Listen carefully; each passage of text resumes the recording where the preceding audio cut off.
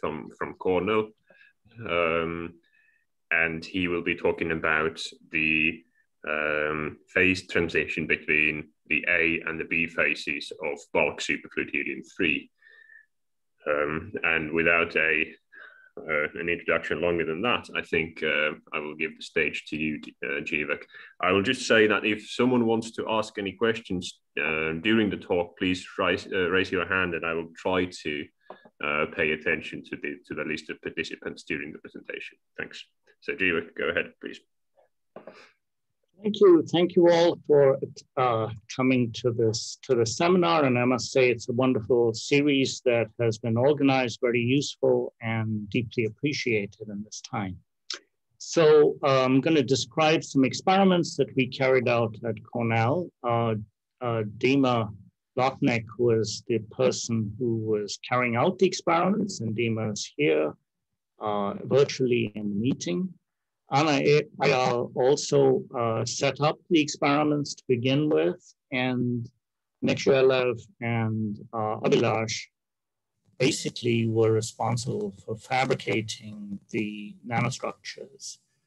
Um, so the so without further ado, let's let's go on with this with um, so the history of, of this AB transition is actually quite long and uh, goes back to even the days of John Wheatley, um, who explored the uh, basically the where the polycritical point is located. And uh, if you look on the screen, you'll see a series of gray uh, diamonds, and those are the experiments that were, um, were explored in the early days. The box, as is shown here, basically, if you can see my pointer, that box is the region that I'll be talking about, which is essentially the region of the experiments that we carried out. So the AB transition in A, A phase and B phase are uh, expressed in the bulk.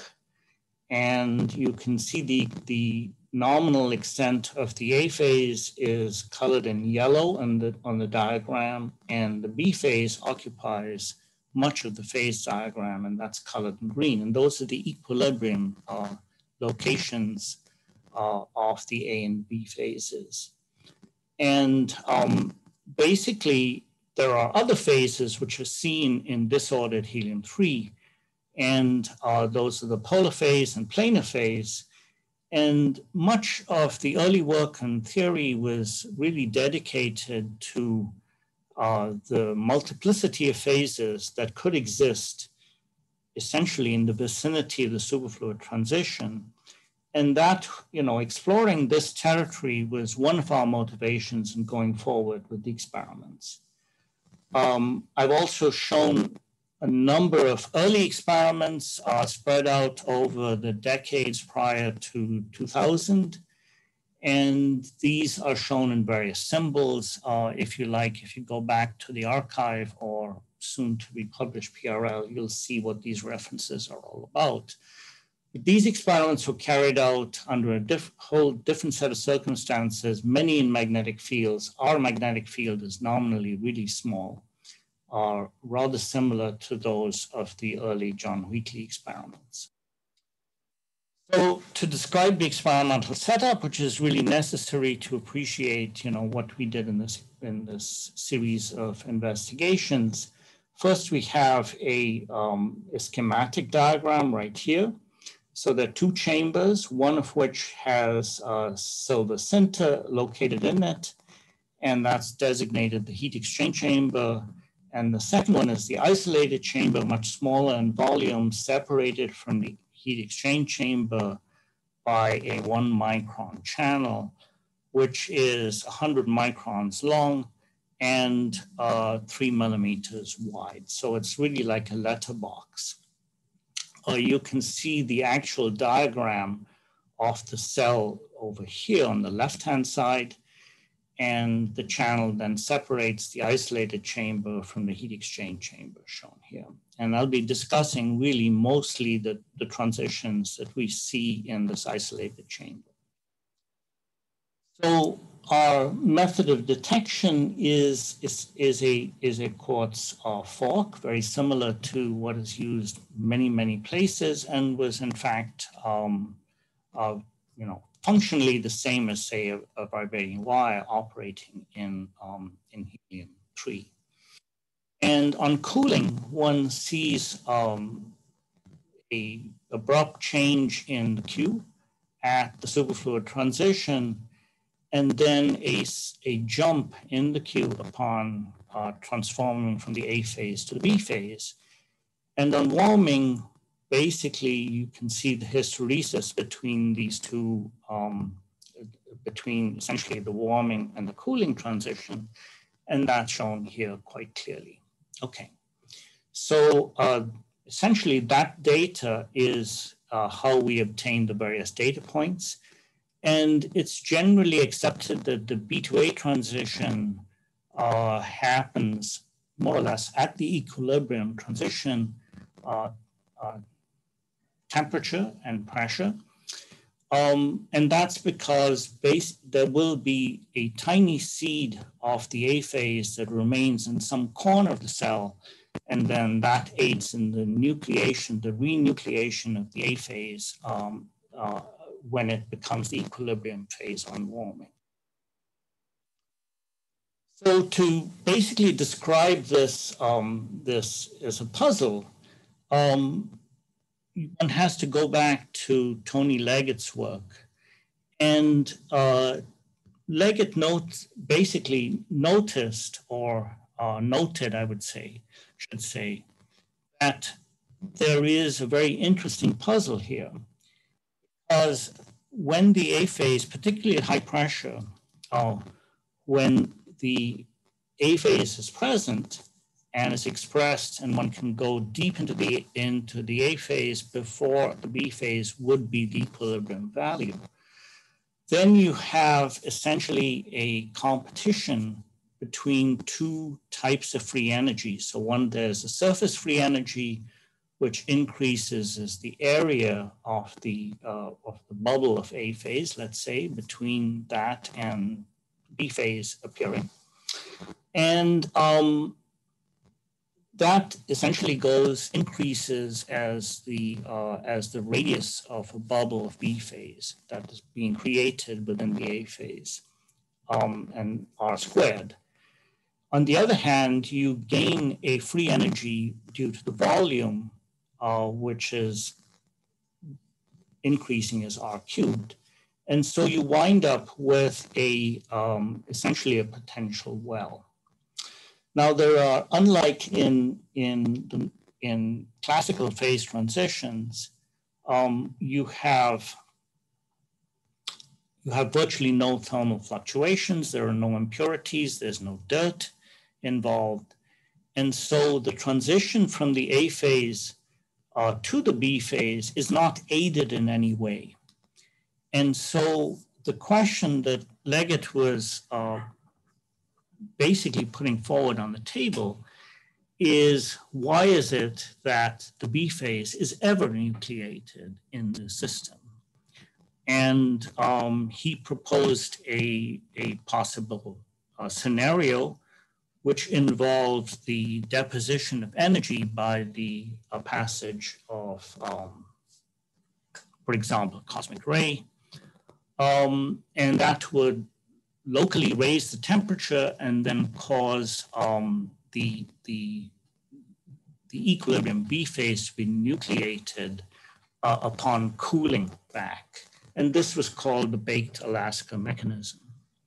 So by its nature, that's a stochastic process. Um, it's, it's caused by some exterior influence and was tested by Osheroff and his co-workers. And there's some controversy, which I don't want to get into, uh, for various mechanisms to do with the energetics and uh, how exactly this happens. Um, subsequent to that, there was a very interesting paper put forward um, roughly 10 years ago uh, by Henry Tye. And what Henry proposed is that an entirely different mechanism.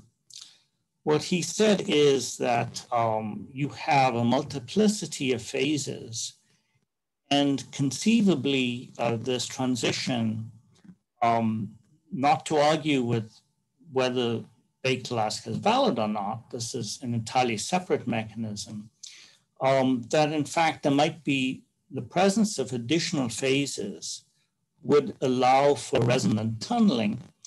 Um, so essentially a false vacuum uh, to occur because of the presence of this other phase called A prime, uh, which might serve as a reservoir, an intermediate state between this A phase, which is clearly not the equilibrium phase relative to the B phase.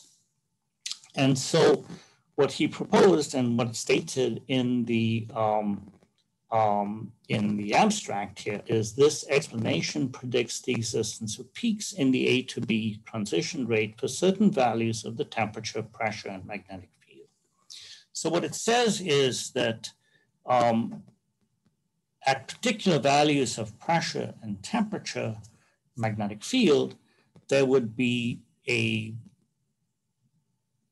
high probability of the conversion because of this resonant tunneling process. And away from those particular values, basically um, the A phase should be stable against the B phase or metastable against the B phase. So this is a testable um, scenario. Um, and that was one of our motivations also for going forward in this project. So once again, now I'm confined to this little box uh, around the polycritical point right here. Uh, again, this is the stable A phase, and this light yellow color is the metastable A phase. Carried out experiments by cooling at constant pressure, as shown in with these black lines, and we observed the AB transition to occur very reliably along this blue line so that you can see there are left pointing triangles right here. And um, the black arrows designate uh, three separate uh, transitions where uh, pressures where we essentially pulsed the fork in the IC, in the isolated chamber, so that we drove the entire volume of helium-3 inside of that isolated chamber into the normal state and then allowed it to cool as rapidly as possible, allowed by the time constant dictated by the, um, by the channel. And what you see is that um, at 21.4 bar, that's basically this, this track right here, that the AB transition that we see on slow cooling, roughly to take several hours to cool this rather small temperature difference. Uh, that's designated as this dash or this dotted gray line. And then the cool transitions are scattered very closely around this, this, this line. Um, at the lowest pressure that was studied here is 21.0 bar. We notice that um, these, these, um, these scattered transitions are much more scattered. Um, and by the way, you also notice that uh, this metastable um, A phase is observed very reliably when you cool uh, below the polycritical point. And um, that's something that is very similar to what is seen in, in uh, aerogel, for example. But below this dashed line right here, um, we do not see uh, the A phase appear on cooling. So looking at the statistics of these transitions, we see that there is a pretty narrow distribution of um, AB transitions around the equilibrium or the slow cool transition, I should say. Slow cool transitions are these dashed vertical lines and we notice that at the lowest pressure, this, this line width is getting um, a bit narrow, uh, sorry, a bit wide, and the transitions are um, becoming kind of ill-defined.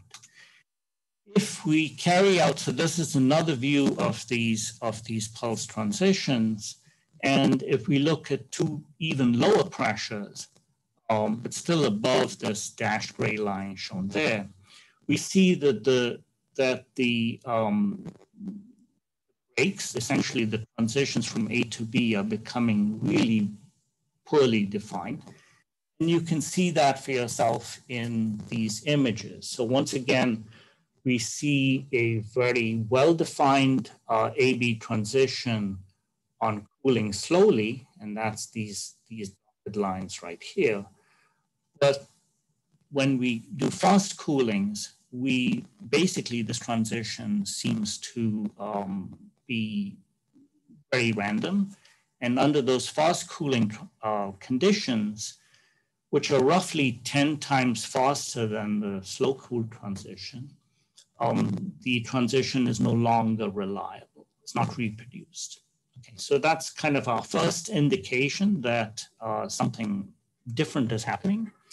And then you notice that there are in, in this region down here, um, we have a, a, large number of data points and uh, there's some something quite, I would characterize as funky. Um, so something weird going on.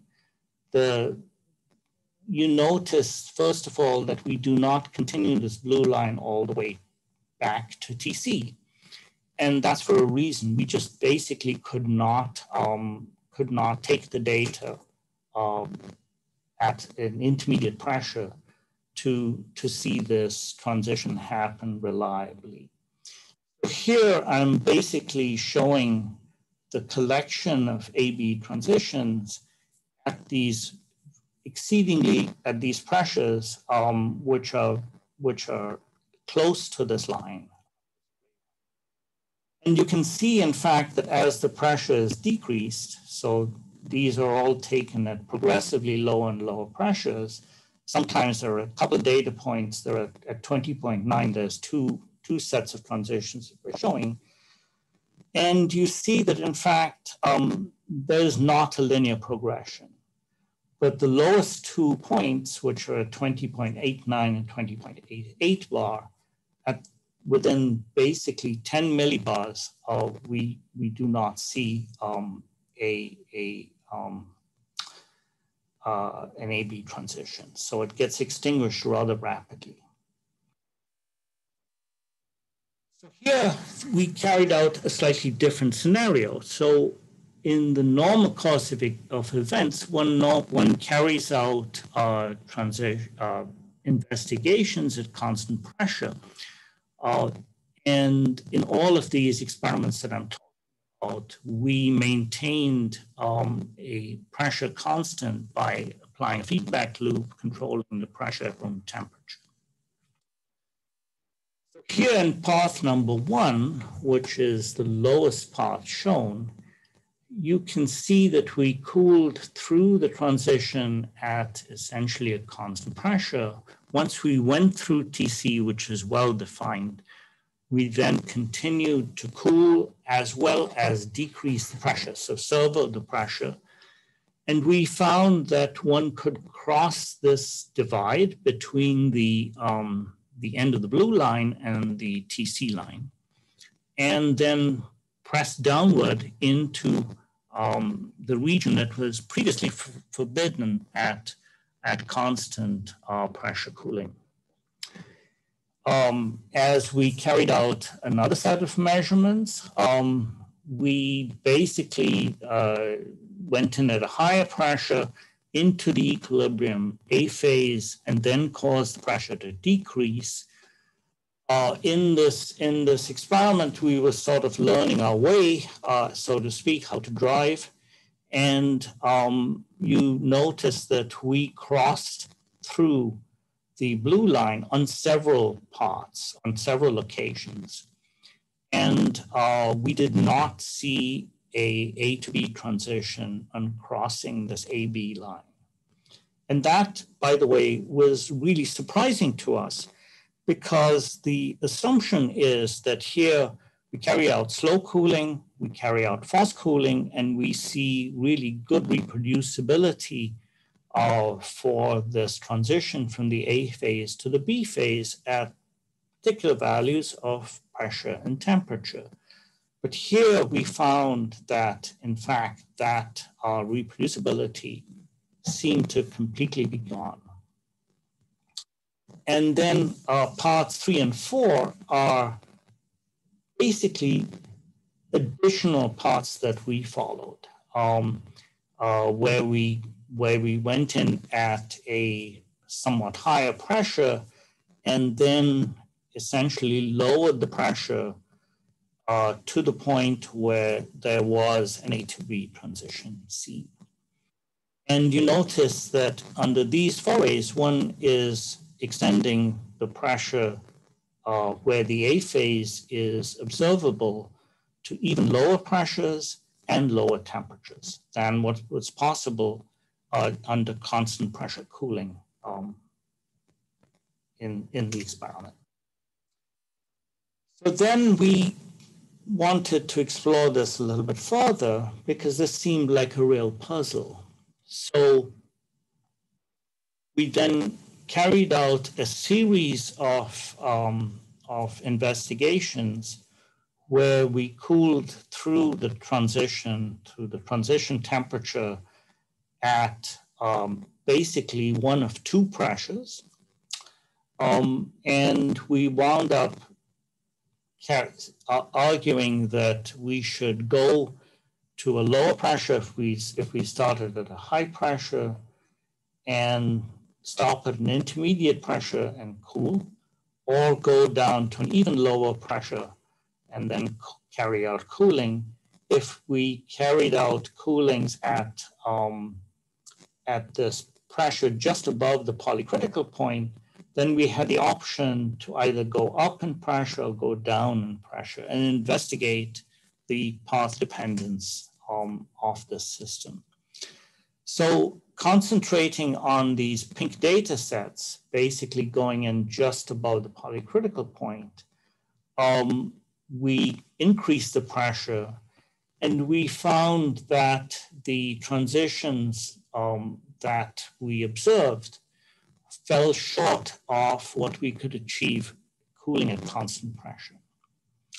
Um, similarly, when we carried out blue uh, transitions where we cooled in at a higher pressure and then decreased the pressure, we found that um, invariably we could extend the region that uh, we could observe um, under constant pressure cooling.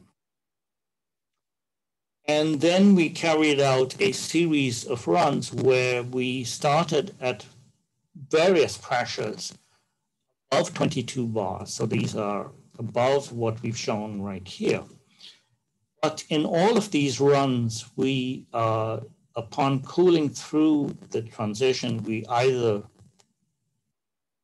we essentially always went past the, um, the AB line and then decreased the pressure and crossed through this blue line at a pressure below 21.5 bar. So I'm not showing the pots here.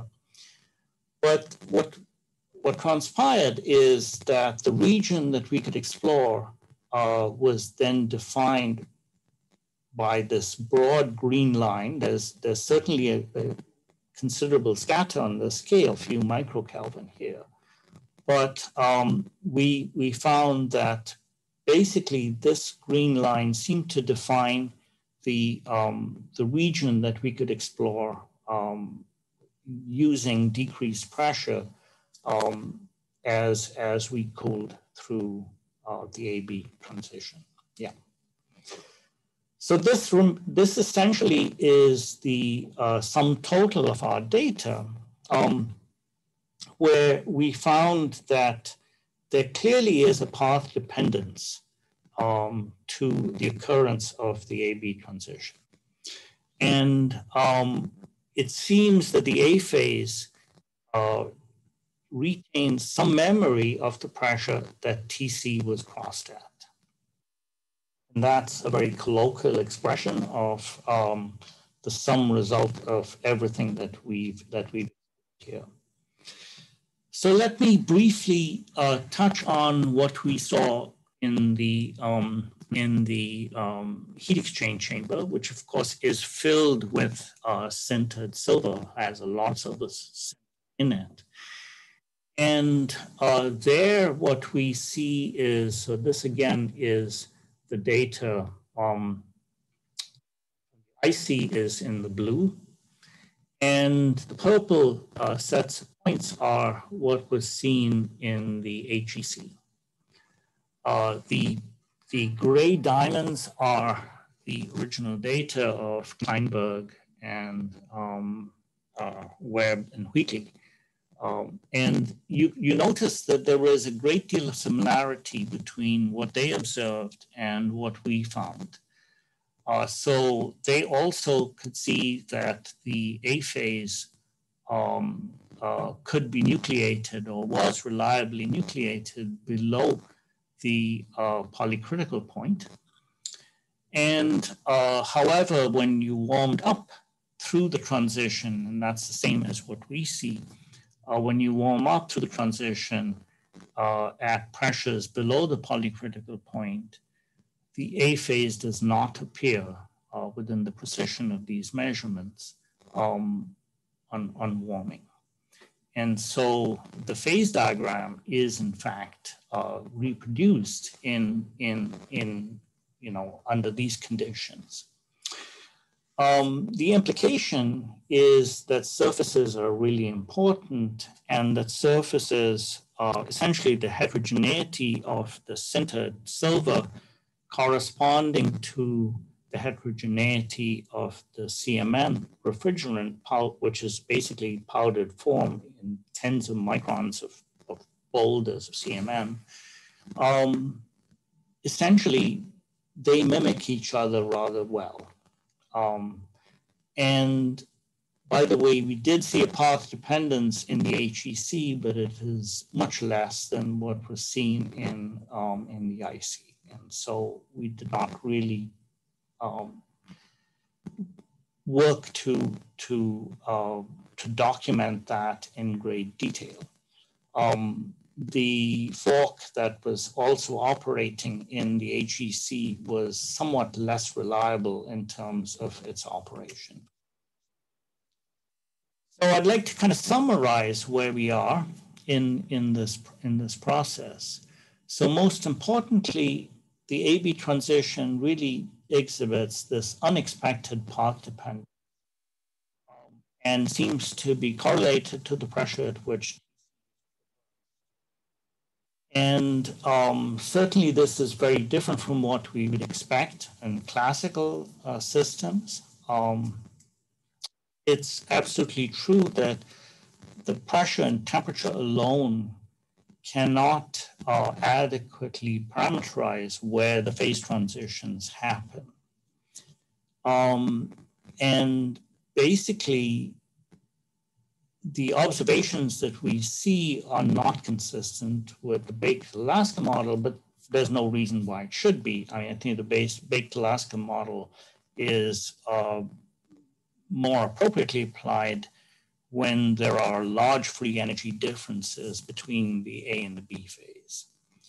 Um, we certainly observe that the A phase is extremely reliably nucleated when we do experiments at constant pressure um, and down to this roughly a bar or so below, um, below the polycritical point, or half a bar or so below the polycritical point.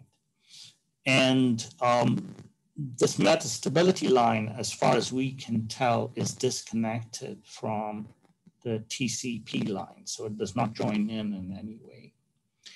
And we can, we can see that the A phase in zero field or nominally zero field is uh, stable quite a bit below the polycritical point when we carry out this depressurization.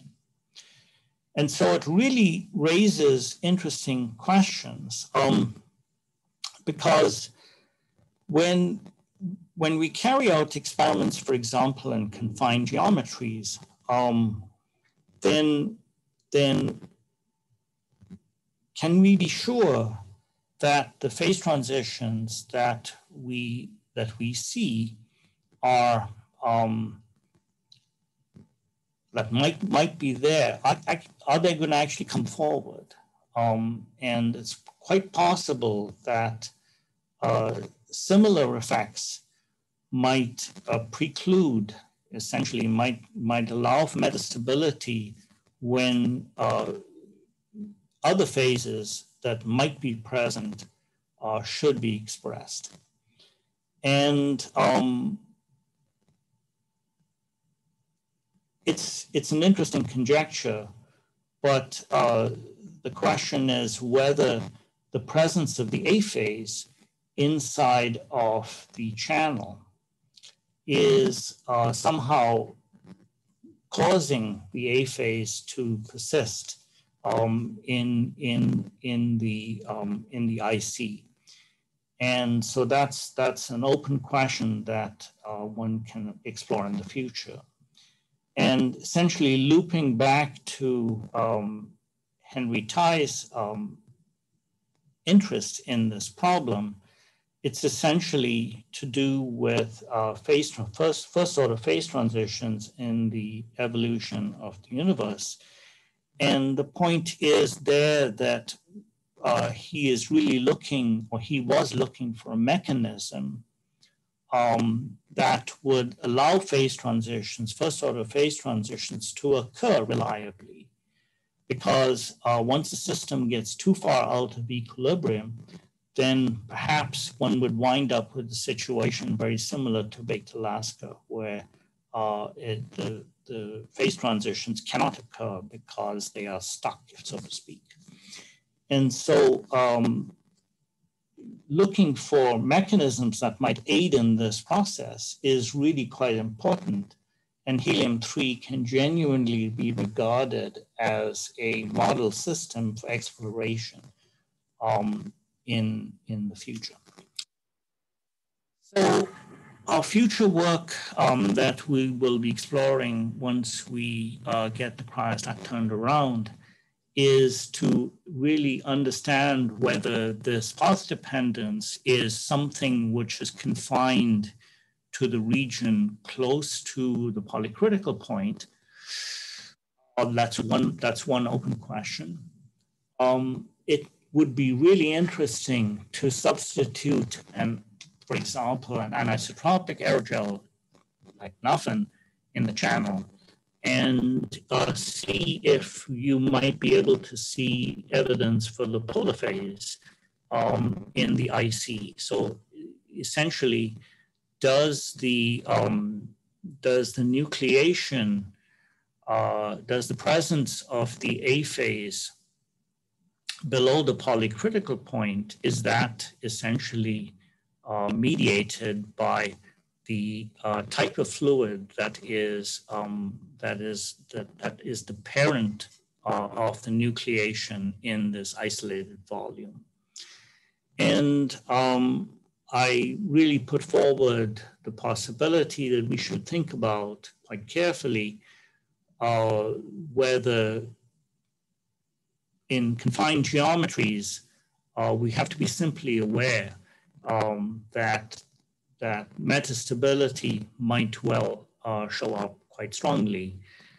I mean, we have explored this, and uh, John Saunders' uh, group has also explored this at Royal Holloway.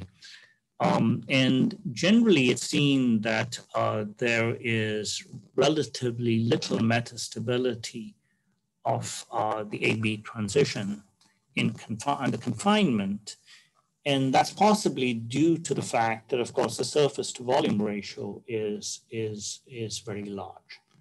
Okay, so with that, I will um, end my presentation and uh, happy to take questions. Thank you, Jeevak. This is this is very interesting uh, throughout. Um, I believe uh, Bill uh, has a question. Please go ahead.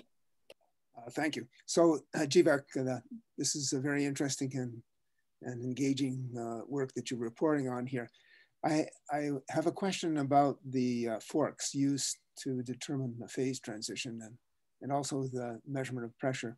is it possible that the pressure in the near vicinity of either of the two chambers is not on a, let's say a short time scale uh, determined by what you measure at room temperature and therefore playing a role of some kind. And in the same vein, uh, uh, does the fork itself, is there any dependence on amplitude of the drive of the fork? And does that possibly play a role? So two very good questions, right? So um, when we change the pressure, so this is sort of the semi-equilibrium pressure that that we are that we are um, controlling at room at essentially at, in a in a volume nitrogen temperature, um, but connected to the cryostat via a um, capillary. Um, those pressure changes are basically happening. The maximum pressure change that we could that we did was um, 1.3 bar per day. Um, and that's a, even for this very small channel, um, the pressure differential is really small. Um, it's it's um, much less than a uh, a millibar um, in in all of this process. So essentially, the flow of atoms going through the channel either positive or negative, uh, basically the pressure differential is on the order of a millibar or less. Um, now, in, in the course of a, uh, say, a heating pulse where we overdrive the, the fork, um, clearly at that point, uh, the, the fork is unable to give any meaningful data when it's being overdriven. And there is a recovery time associated with that, um, with that heating process. So roughly, I would say a minute evolves and we drive the fork hard enough so that we wind up in the normal state and actually somewhat could be maybe a couple of tenths of a millikelvin above the transition temperature at the end of the at the end of the pulse.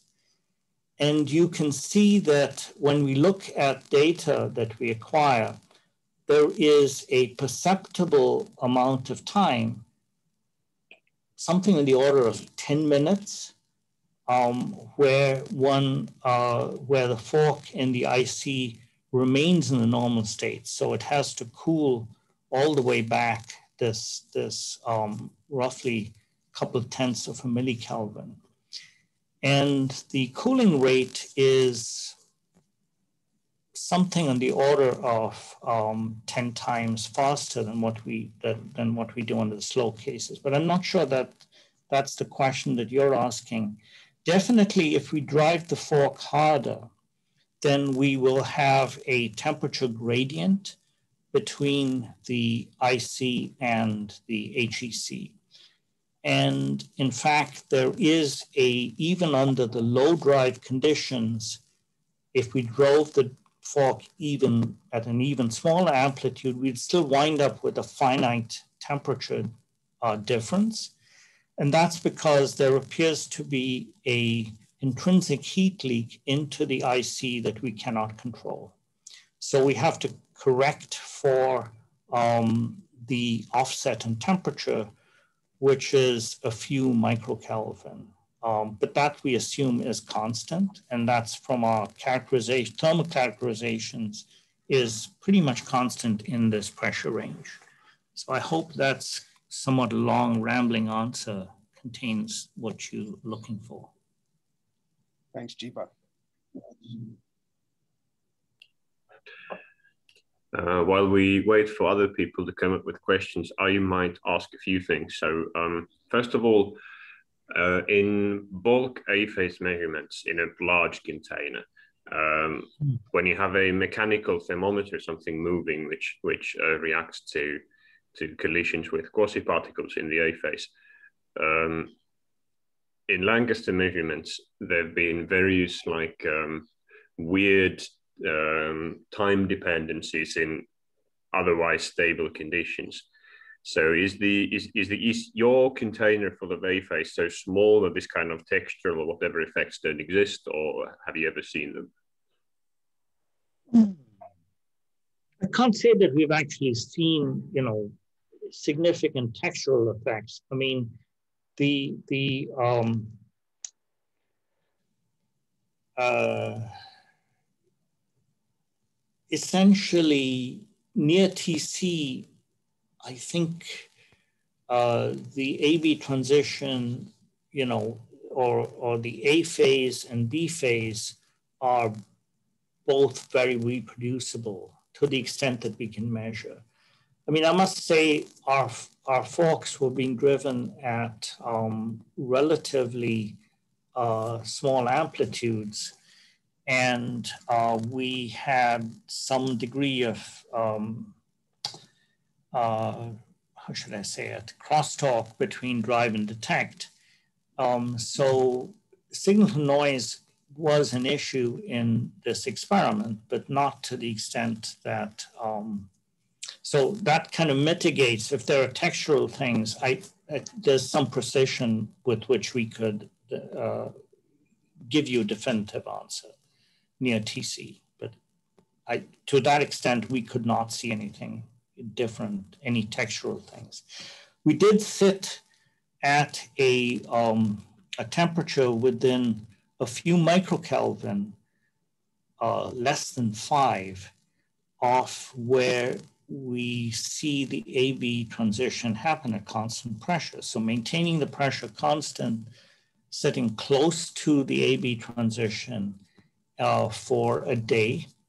And um, there was no essentially, you know, you have you have just a blob of noise at that point. There's no AB transition. There's no textural change there, right?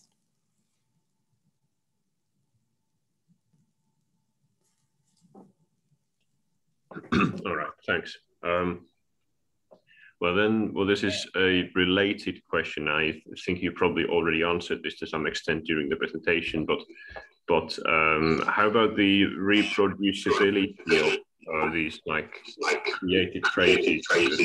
Are they um, are they always the same, or or um, or is, is there something you cannot control there? So if we go back to the green line data, um, I think what I'm trying to emphasize here, so this is kind of going back. So this green line, kind of notional green line that we have, really seems to represent the, the, the maximal extent of uh, where we can see AB transitions um, in this pressure range, providing we cool and we cross the blue line below 21.5 bar.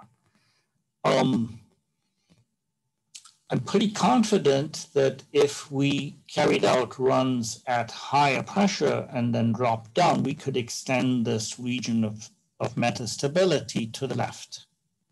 Um, but as far as carrying out measurements at constant pressure, um, uh, if we did reproducibility of slow cool transitions, that is to say, trajectories just going and taking a day to, to cool down to here, we would see a distribution of, um, of AB transitions that's likely very narrow. I mean, we, we did a few of these. It takes, by its nature, it takes a day per transition.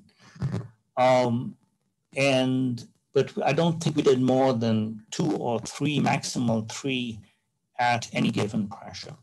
So I would refer you though to uh, Pertti um, uh, comment to Leggett's PRL, where they where they viewed um, AB transition many times um, uh, and they got quite narrow uh, transitions uh, done in a magnetic field, of course, but um, and and that was uh, the line that he observed or that they observed in Helsinki was um, denoted the catastrophe line um, in those experiments. So I think there's really good evidence that constant pressure cooling gives you a high degree of reproducibility with quite narrow transitions um, in this region. Smith has a question. Yes, Dean, please. Uh, hi, Jeevak. Thanks for your talk. So I saw that you've made an experiments in a couple of magnetic fields. Is that right? Different. That's correct. We did do experiments in magnetic fields, and the fields were, I think, 25 and 50 Gauss. Um, I would say there, in all cases, we we definitely see, you know, we see a shift in the AB uh, in what we see at, at under under um, nominal zero field transitions. Um, it did not look like this this path dependence was um, went away. Let's put it that way in those magnetic fields. We tried the field uh, to be applied parallel to the channel and perpendicular to the channel. Um, uh, parallel to the channel would of course reinforce the texture uh, the uniform texture that you'd expect in the in the channel, and um, parallel applying a field uh, perpendicular to the channel would certainly change the spin um, orientation, um, but presumably the L would still be locked. But who knows if it's if it's uniform or not. Um, there was no obvious difference between when we looked parallel and perpendicular. But you've got to realize that I think those experiments are getting really baroque and I wasn't I wasn't super happy um, uh, taking so much data. It would take it would take us you know, to accumulate decent data would take us a, a much longer time than I would care to expend on this. Yeah. So we didn't really push that very hard. But do you have a question associated with that? Uh, yeah, I was just wondering uh, uh, how the magnetic field would um, change all this a good point. Uh, dynamics and yeah and also, yeah, well, you can do, obviously you can do these uh, paths with magnetic field as well. So varying magnetic field while in the superfluid, which is yeah, of course a lot of work. Yeah, and very difficult to. Yeah. yeah, yeah. It's, yeah. I mean, yeah, that's, I, I agree it's a lot of work. I mean, I think I'm,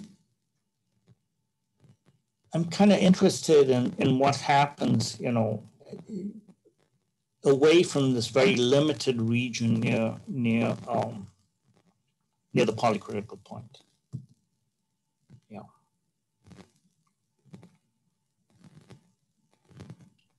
All right. Um, I think Igor has a question.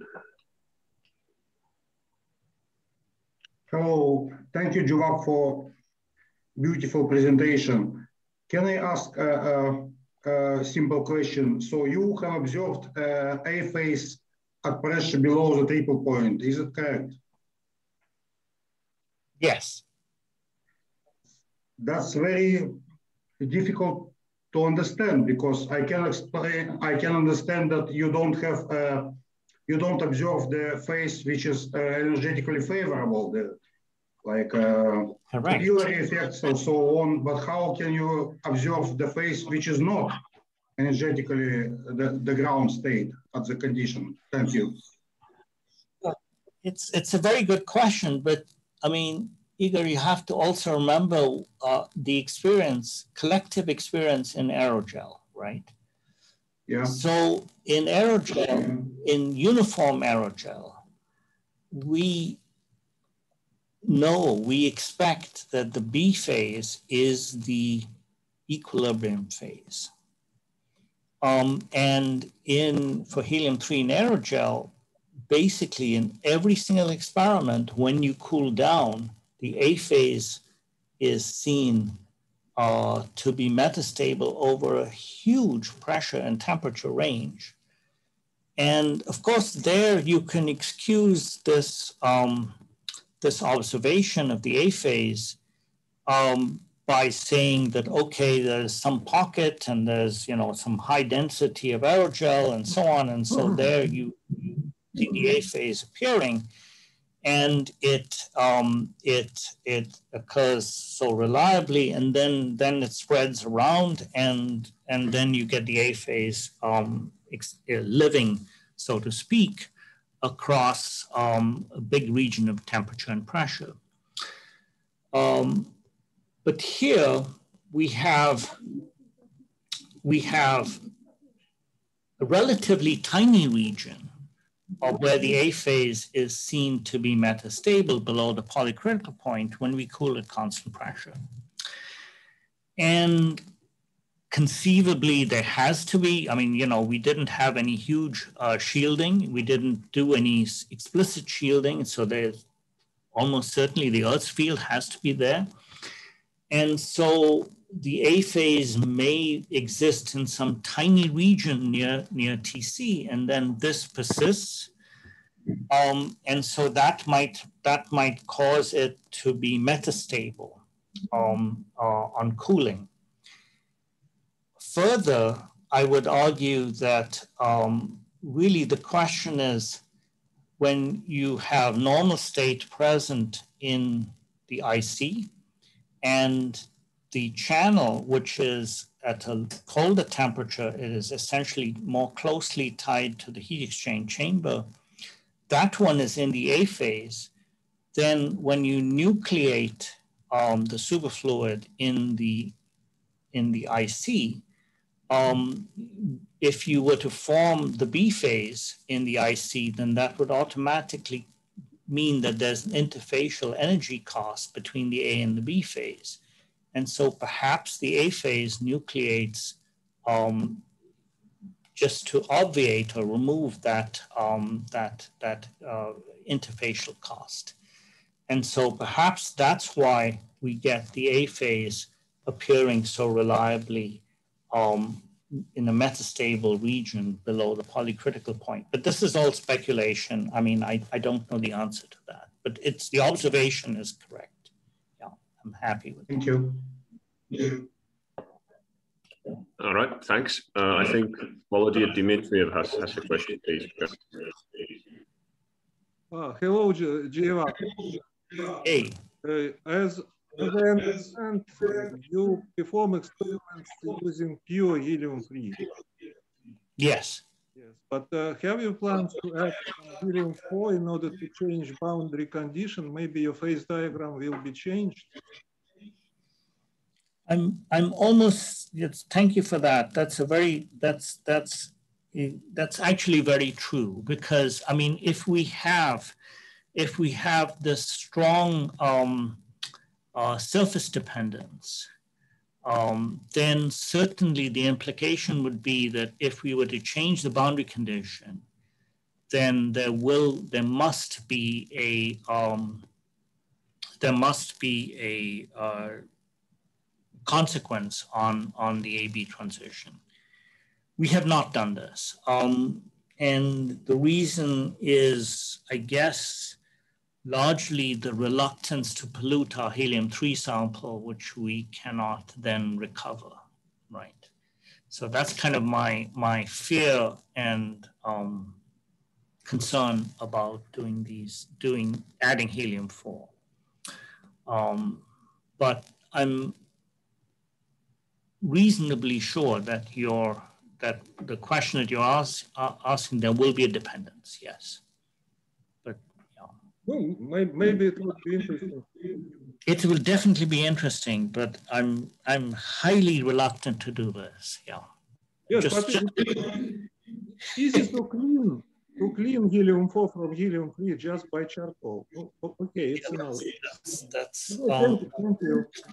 yeah. Anyway, okay, for the future, right?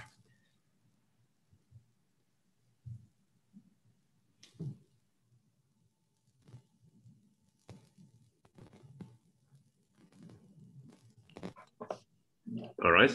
Thank you. Uh, I think Bill has a question. Jeevak, how long is the channel?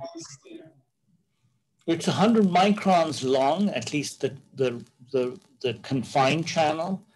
There are lead-in bits, uh, which are two and a half millimeters long, and they are 200 microns tall with the same width of three, three millimeters. Um, so I think those those parts, um, the lead-in channels on the side, they they would be essentially bulk-like, yeah. Um, except that they would give you a uniform um, in the A phase. If there's A phase present, then it would give you a uniform texture. So do I understand Most correctly? If, I, if do I understand correctly, you have helium three in all three areas in the in the two. Yes, everywhere is filled with essentially pure helium three or 20, 10, 10 20 ppm helium three. Yeah, no, but you have helium three in both of the experimental chambers. One of them being the heat exchanger, and the and also thirdly in the channel, and and the TC is not suppressed in the channel. TC is not suppressed to any degree in the channel. Um, at, so at, that, at one micron height. So you always have an interface between the A phase and whatever superfluid phase might be in either one of those chambers. That is correct, yes. That's correct. I mean, if there's if there's a phase on either side, then there's no interface, and otherwise there will be an interface. And so the channel, when the HEC is in the B phase, that B phase does not propagate into the um, into the um, IC at all.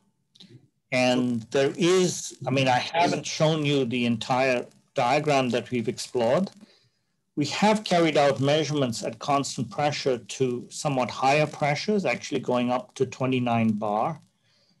And there is a very interesting region of the phase diagram where one sees a um, the two lines, the two phase transition lines for A and B phase in the HEC and the IC actually come together.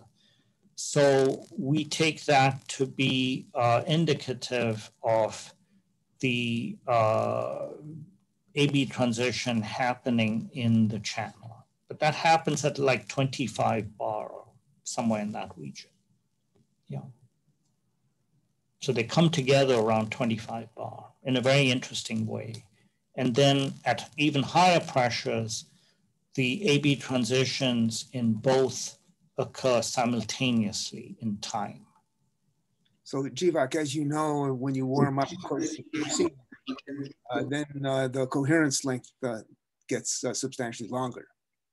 So the 100 microns may not be um, a reasonably small number of coherence length in the region that you approach TC, but with a somewhat smaller length, then you might indeed be in that Josephson couple limit.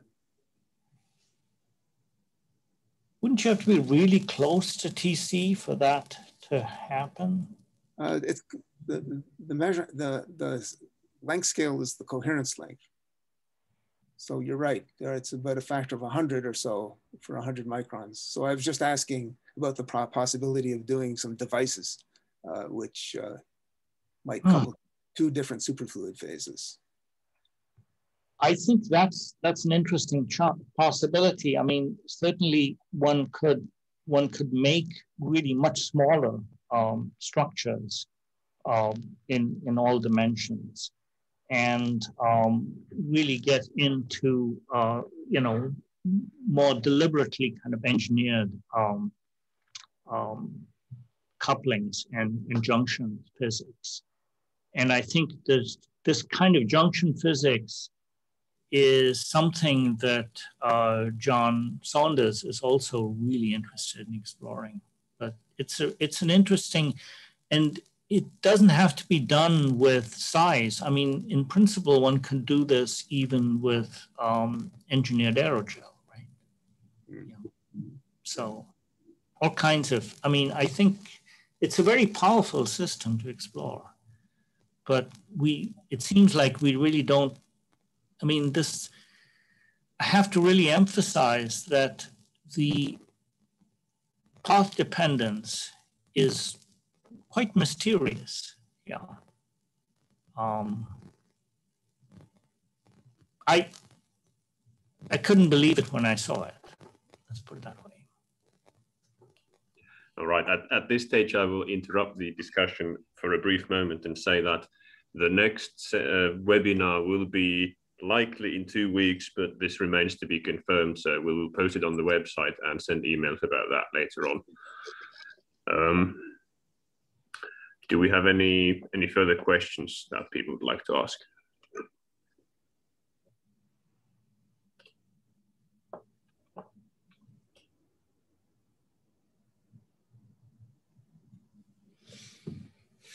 Well, I'm not seeing any any further questions, so maybe we can wrap this up here. Um, thank you, Jeevak, for a, a, very interesting presentation. And I'd also like to thank the entire audience for participating in the, at least those who participated in, uh, in the discussion for a um, insightful discussion. Um, and uh, I hope you uh, also join us the, the next time in, in a couple of weeks. Okay. No. Thanks, Jeevak. Thank you. Thank you all. Thank you, Joak. Thank you. Yes, right.